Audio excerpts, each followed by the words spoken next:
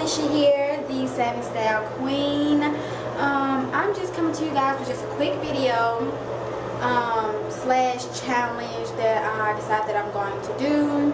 Um, I decided I'm going to go on the heatless hair challenge. Um, it's for six months, but I'm just going to try to do it as long as I think I can. So I'm going to, um, as you can see now, I washed my hair today and um, I put a twist out in it no heat, no nothing. I let it air dry.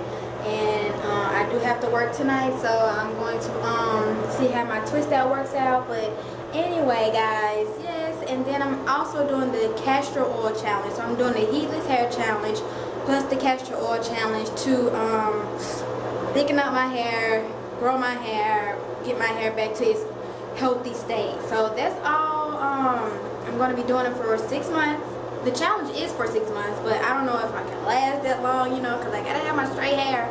But I'm gonna try to do it as long as I can um, until I start seeing results or whatever. So I'm not, I'm gonna retire my flat irons and my blow dryer and my whatever else heat, whatever, until I get, until I get what I'm looking for um, out of my hair.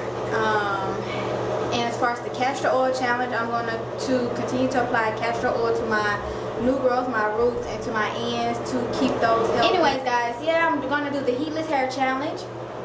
And, um, and you guys are going to be seeing a lot of hair tutorials from me, a lot of, um, probably tags, the 50 random facts.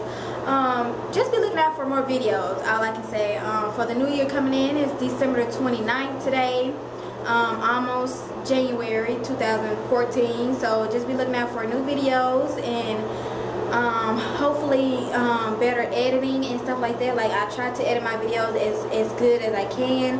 But guys just be looking out and I'll keep you guys updated on my heatless hair challenge. Um, I'm going to be doing protective styles.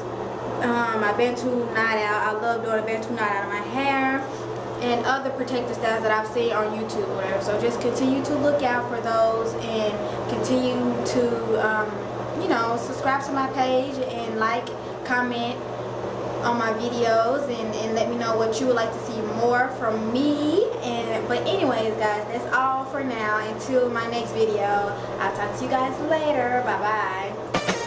See you. It's been a long while, I think I need a